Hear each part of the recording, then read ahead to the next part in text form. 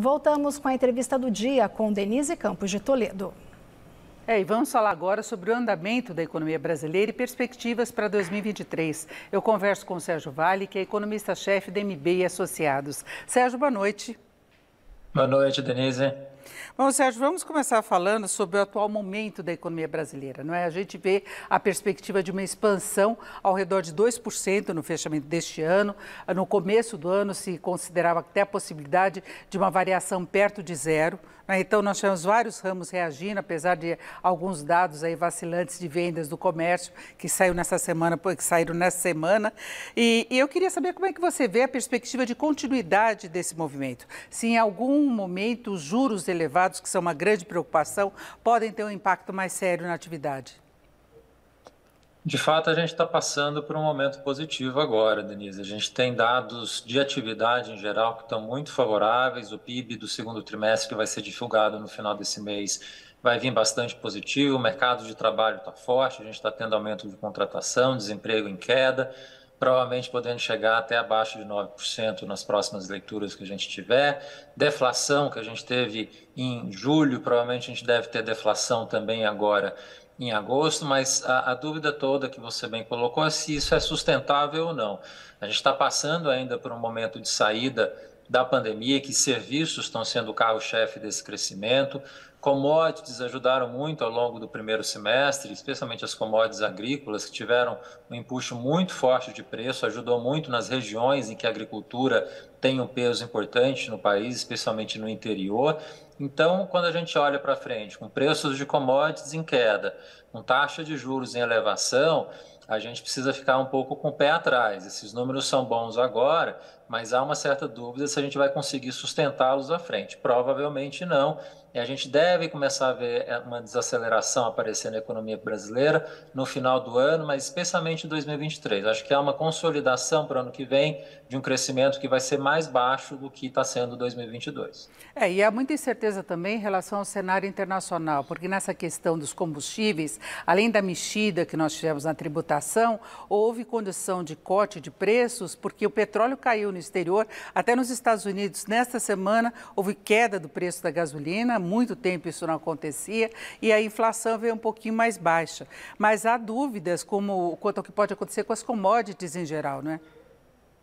É, no cenário internacional, a maior preocupação hoje é a possibilidade de uma recessão de fato na economia americana e eventualmente na economia europeia também. Né? Nesse momento, a gente não está em recessão por lá. Todos os dados estão indicando que isso não está acontecendo ainda, especialmente mercado de trabalho. Né? O dado de desemprego nos Estados Unidos muito baixo, contratação em, em julho foi muito forte. Então a gente tem um mercado de trabalho que está sinalizando que a economia americana talvez ainda não tenha entrado de fato em recessão. Mas esse cenário de inflação ainda elevado, com juros subindo, provavelmente chegando a 4% nos próximos meses, dá uma sinalização que provavelmente os Estados Unidos podem entrar em recessão aí na virada do ano, a mesma coisa para a economia europeia. O mundo entrando em recessão e pega aqui um novo presidente com a casa desarrumada, né, com processo recessivo podendo acontecer aqui também, não é um bom sinal. Então, assim, a questão internacional vai nos pegar no contrapé e a gente precisa estar bastante atento a isso. É, eu falava dessa questão externa, porque, de um lado, a queda de preço de commodities pode ajudar no controle da inflação aqui no Brasil, mas atrapalha o retorno de receita, termos de atividade, as exportações do país. Né? Atrapalha na questão fiscal, na arrecadação e no caso da inflação, que no curto prazo ajuda, a gente está vendo isso acontecer agora, com combustíveis especialmente, pode acontecer também no segundo semestre com a agricultura, os preços de alimentação tendem a arrefecer, a diminuir no segundo semestre. É, então, no, em termos de inflação, a gente consegue ter uma boa ajuda, mas a gente não pode esquecer que parte do que foi feito agora para ajudar combustíveis, especialmente o corte de impostos que a gente teve, eventualmente vai ser revertido parte disso ano que vem. E nessa reversão, o mercado trabalha com uma expectativa de inflação que aumentou em relação ao que se tinha anteriormente. Então, na hora que você cortou um pouco a inflação esse ano por conta desse corte de impostos, ao mesmo tempo você acabou jogando a expectativa de inflação do ano que vem para cima. Então, o Banco Central ainda tem trabalho para lidar. Né? Por isso a gente vai ver taxa de juros alta durante um bom tempo, para o Banco Central não apenas conter as expectativas do ano que vem, mas 2024, que começam a subir as expectativas de inflação para daqui a dois anos e o BC começa a dar sinalização de bastante preocupação com isso. Agora, por enquanto, você acha que a política de juros do BC está correta? Ele até sinaliza a possibilidade de aumento adicional, mas demonstra uma disposição para interromper a alta no nível atual de 13,75 da taxa básica, né? A grande preocupação do Banco Central é que, pelo terceiro ano seguido, em 2023, a gente vai ter uma inflação que vai estar acima não apenas da meta, mas do teto da meta. Né? Isso aconteceu ano passado, está acontecendo esse ano, muito provavelmente vai acontecer em 2023 também. 2024, o Banco Central considera que vai ser um ano, a gente espera, que não tenha todos esses impactos que a gente viu acontecer nesses três anos. Não tem mais pandemia, provavelmente, a gente vai ter saído do momento pior de recessão é, da economia brasileira, da economia mundial. Enfim, você vai estar com uma economia com menos choques do que a gente está tendo agora. Em tese, era para estar inflação mais baixa. E o que a gente está vendo acontecer é uma inflação que a cada semana está subindo nas expectativas do mercado. Então, o BC está sinalizando que, olha, a gente perdeu a batalha da inflação em três anos seguidos, mas a gente quer ganhar de qualquer maneira em 2024. Então, acho que por isso vai ter essa percepção de uma taxa de juros que vai ficar alta, o que for necessário, o tempo que for necessário para trazer a expectativa de inflação, especialmente de 2024, para de fato próximo da meta. Por isso, essa taxa que está elevada vai ficar com a gente aí provavelmente quase um ano.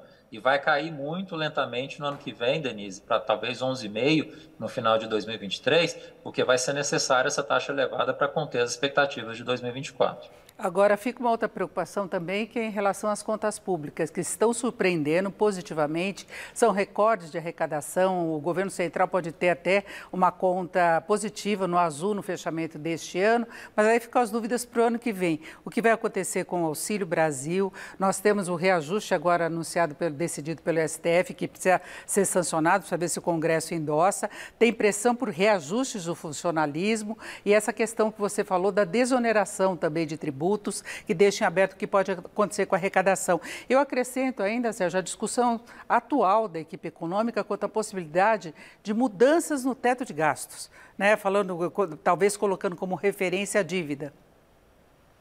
Pois é, veja, tudo que você colocou, Denise, é um sinal muito negativo para o fiscal ano que vem. Essas pressões de gastos elas estão dadas, a gente está falando de um novo governo que, a depender de quem for, tem pressão adicional que a gente possa ver acontecer em outras esferas, como investimento, por exemplo.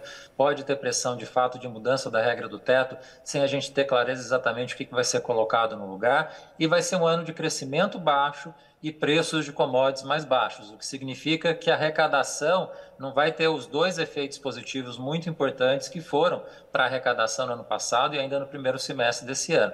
Então, o fiscal está triplamente desafiado. Tem arrecadação baixa, gasto mais elevado e as regras estão sob júdice.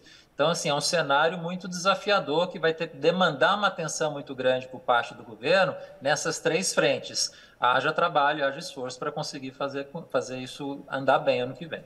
Agora, você acha que há necessidade mesmo de mudar a regra do teto de gastos? Eu acho que a regra pode ser aperfeiçoada. A gente pode ter uma regra que seja um pouco mais flexível, no sentido de incorporar já dentro da regra com mais clareza do que existe hoje, com a questão dos créditos extraordinários, que é uma possibilidade dentro da regra, os ciclos da economia. Então, você está numa recessão, você tem gatilhos que podem já fazer com que o gasto aumente. Você tem um momento positivo na economia, você tem, você refreia o gasto para fazer uma poupança para justamente os tempos mais complicados. Ao flexibilizar a regra dessa forma, você pode adicionar uma regra de dívida, né, de teto de dívida, mas que também não é bem um teto, né? Que o teto no Brasil de dívida nesse sentido pode ser é, extremamente elevado. Você colocar um cenário de que, olha, a dívida hoje é 78% do PIB, eu quero que essa dívida chegue em 10 anos em 70% ou 60%, enfim, seja decidido o número de queda dessa dívida ao longo do tempo, num intervalo, numa banda que você vai poder é, administrar né, com uma certa flexibilidade essa dívida nesse intervalo. Então, você incorporar essas duas regras dessa forma, eu acho que traz mais flexibilidade para a regra fiscal que a gente tem hoje e evita acontecer o que a gente viu acontecer nos últimos anos. A regra do teto foi permanentemente quebrada, hoje ela não tem credibilidade e a gente precisa passar para um modelo que seja mais crível por ser mais flexível, como é o modelo chileno, por exemplo, que está aí há 22 anos, com bastante credibilidade, porque tem essa flexibilidade. Mas é uma flexibilidade que tem que ser todo mundo acordando com ela que vai funcionar, executivo, legislativo, e deixar ela funcionar sem quebrar, como a gente viu quebrar a regra do teto tantas vezes nos últimos anos. É, e comprometimento dos poderes, né? Porque você vê muita pressão de gastos na definição do orçamento, as emendas do relator, agora o judiciário anunciando esse reajuste também. Falta compromisso. Precisa ter comprometimento, né, Denise? Porque o, país, o Brasil é um país que tem mais regras fiscais do mundo e a gente consegue ser o país que mais quebra essas regras também no mundo. Então a gente precisa criar regras que a gente consiga seguir. Elas têm que ser simples suficientemente para que todo mundo consiga entender, mas também tem que ter uma certa flexibilidade para evitar que essas quebras acabem com a credibilidade da própria regra. E como você muito bem lembrou, que as autoridades, tanto o executivo quanto o legislativo, sigam essas regras da melhor forma possível para que elas sejam duradouras e ao longo do tempo você traga de fato um perfil fiscal muito mais eficiente, ajudando a própria política monetária. Quanto mais a gente conseguir ter regras que funcionem do lado fiscal, mais a gente vai conseguir ver taxas de juros baixas no futuro. Enquanto a gente não equacionar o fiscal, a gente não vai conseguir equacionar também a política monetária no Brasil. É isso, nós ouvimos o Sérgio Vale, que é economista-chefe da MB Associados. Sérgio, muito obrigado, uma boa noite. Obrigado, Denise, foi um prazer. Até a próxima. Com vocês.